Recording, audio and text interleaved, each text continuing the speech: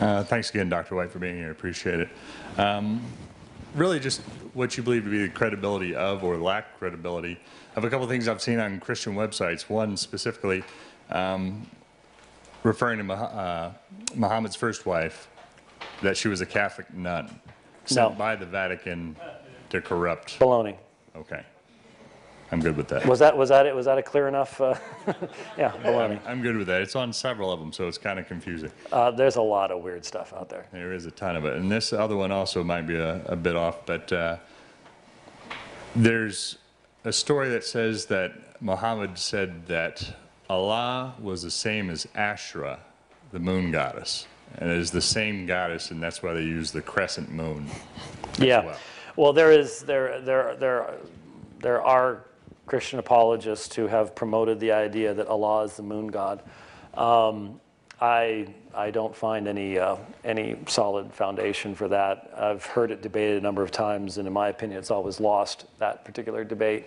Uh, Muhammad certainly never made any statement along those lines, uh, uh, certainly not in any of the recognized sources.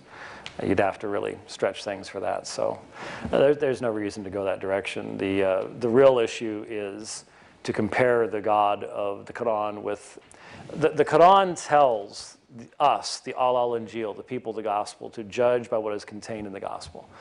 Uh, I think there's some really strong arguments to be made for a person who knows the Quran uh, to at least get a person to start thinking about the relationship between the Islamic scriptures because they come afterwards and they, they when you look at the Old Testament and then you look at how the New Testament has such an intimate knowledge of the Old, and then allegedly the Quran then is the fulfillment and the protector of all these, and yet it never quotes these things. The only thing it quotes in the Old Testament is the lex talionis, eye for an eye, tooth for a tooth, et cetera, et cetera.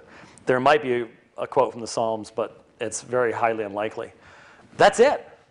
There's, there's no other citations of, of the Bible. The author clearly did not have any knowledge, and he thought that there were all sorts of things in the gospel that were actually in much later Gnostic and semi Gnostic gospels. So um, that's really the real issue. That's really the real issue.